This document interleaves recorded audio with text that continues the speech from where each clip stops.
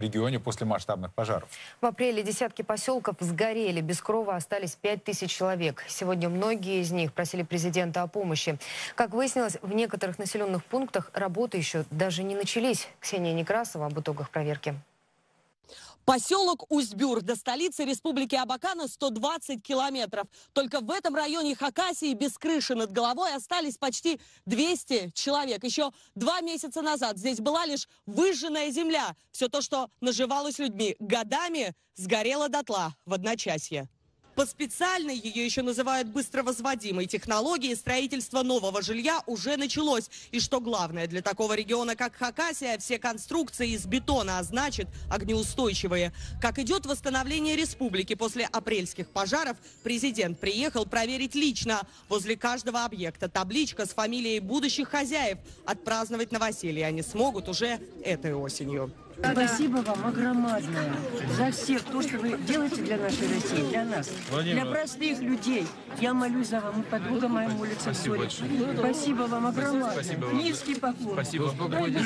Всего в Хакасии из-за бушующей стихии без крова остались 5 тысяч человек. Впрочем, как оказалось, не во всех поселках строительство идет согласно срокам. Уже несколько месяцев жители деревни Бейбулук живут в чудом уцелевшем сельском клубе. А там, где когда-то были их дома, по-прежнему пустырь. У нас вся деревня сгорела. Вся деревня сгорела, ничего не строится. Нам никто не приезжает. Пожалуйста. Где? Бейбулук, Багратский район. 1 мая. Хорошо, сейчас, Пожалуйста, даже Зимин ни разу к нам не появился. сейчас поговорим. У нас никакой стройки нет. У меня вообще маленький ребенок скитается из дома дом 4 годика. Вот сейчас поговорим по этому вопросу. Я поэтому и приехал. Вы сейчас уедете, так оно и останется. Нет, не Пожалуйста, помогите. Мы специально далеко ехали к вам. Помогите нам. Хорошо, хорошо. Тогда в апреле масштабы бедствия в Хакасии оказались катастрофическими. Стихия превратила в руины почти 40 населенных пунктов. На совещании с региональными властями Владимир Путин еще раз напомнил о сроках. К осени все, кто лишился крова, должны въехать в новые дома. В некоторых населенных пунктах работа практически еще не, не развернута, во всяком случае так, как люди говорят. Э, нужно это проверить, и прошу Виктора Михайловича в этих населенных пунктах везде побывать. Понятно, что объем работы большой, но нужно это сделать. И на месте разобраться с тем, как обстоят дела. Э, Сроки завершения работы хорошо известны. Новое комфортное жилье должно быть предоставлено пострадавшим гражданам к 1 сентября текущего года. Сейчас вот с подрядчиками разговаривали. Они считают, что это можно сделать даже чуть-чуть раньше. И хорошо было бы, если бы это так и было. На восстановление государство выделило почти 4 миллиарда рублей. Часть пойдет на создание инфраструктуры, поддержку сельского хозяйства и адресную помощь пострадавшим. Во время разговора с президентом Погорельца рассказали о проблеме многодетных семей в новых домах. Квадратных метров для жизни просто-напросто не хватает. Решить этот вопрос Путин поручил правительству.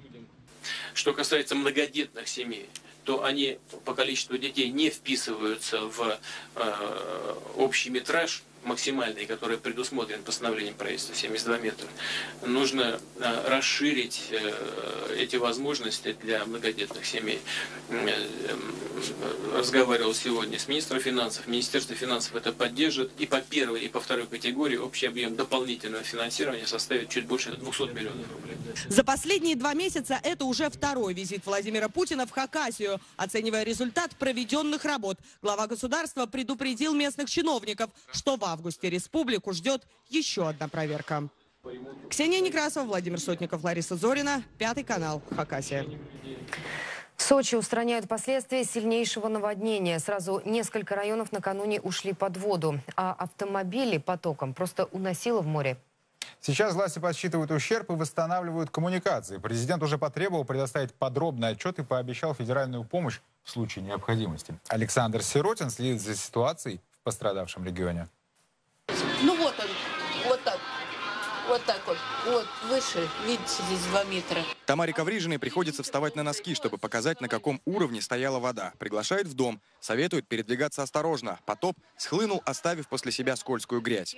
В квартире картина такая же, как и во дворе. У нас вот холодильник, теперь так вот. Вот он у нас, видите как?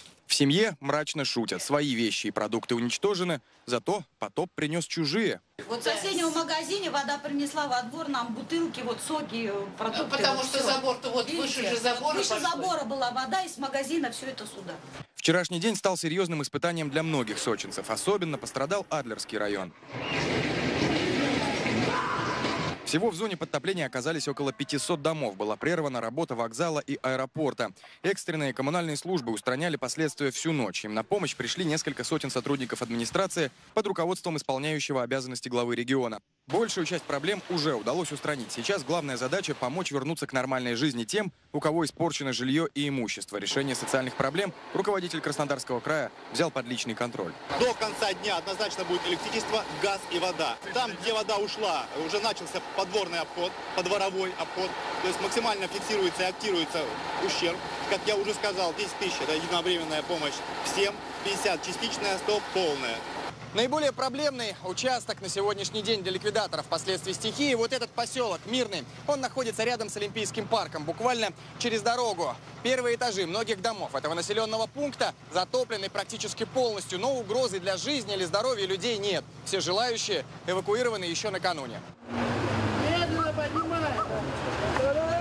Некоторых пришлось не просто эвакуировать, спасать. Люди оказались заперты стихией на крышах и верхних этажах. В спешке брали с собой самое необходимое. Одни деньги и документы, другие – домашних питомцев.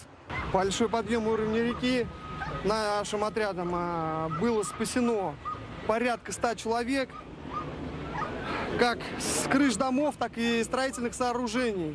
Около 300 человек администрация города разместила в гостиницах, которые были построены к Олимпиаде. Здорово, замечательно, приняли очень быстро. Мы вчера приехали, нас самых первых, дети уснули на руках, вот.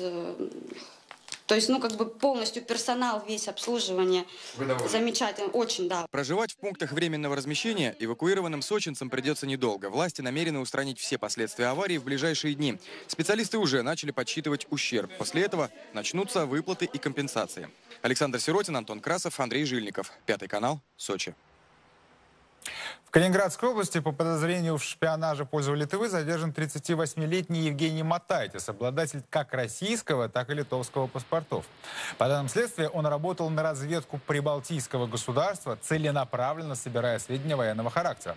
Их утечка за рубеж, как отмечают ФСБ, могла нанести серьезный ущерб обороноспособности нашей страны. В отношении Мататиса возбуждено уголовное дело по статье «Госизмена». Сам задержанный дает признательные показания. Лефортовский суд Москвы санкционировал его арест. В Нефтеюганске сегодня вспоминают мэра города, который был убит 17 лет назад. Владимира Петухова застрелили прямо около здания администрации. Тогда на улице вышли тысячи жителей. Люди попытались штурмом взять офис ЮКОСа, и только спустя 7 лет следователям удалось доказать. Среди киллеров были глава службы безопасности и вице-президент компании. Алексей Шанев продолжит. Памятник Владимиру Петухову в центре города словно напоминание жителям о том, что свои принципы нужно отстаивать до конца. Каждый год сюда приносят цветы. Владимира Петухова в Нефтеюганске любили. В прошлом сам нефтяник на Буровой, он пользовался у людей безграничным доверием. Память о Владимире Петухове должна быть в наших сердцах. Мы ее должны сохранить. Это не только символ борьбы с наглой олигархией, а это все-таки еще раз подтверждает, что Россия стоит на правильном пути. Борьбу с нефтяным гигантом Владимир Петухов вел фактически в одиночку. Центральная власть его, казалось, не слышала. По самым скромным подсчетам, ЮКОС должен был казне Нефтеюганска триллион рублей. Но платить их никто не хотел. Противостояние зашло слишком далеко. Роковым утром 26 июня 1998 года мэр с охранником шли к администрации пешком. Им оставалось пройти несколько десятков метров, когда киллер открыл огонь. Для ЮКОСа было привычнее купить мэра или губернатора. Привычнее купить, чем платить. А для Петухова это слово «взятка» было невозможно. В день убийства Владимира Петухова на улице Нефтеюганска вышли почти все жители города. Люди требовали честного расследования преступления. Мало кто сомневался, что главный заказчик сам Михаил Ходорковский. Митинги продолжались несколько дней. Их участники перекрывали дороги и даже пытались штурмом взять местный офис компании «ЮКОС».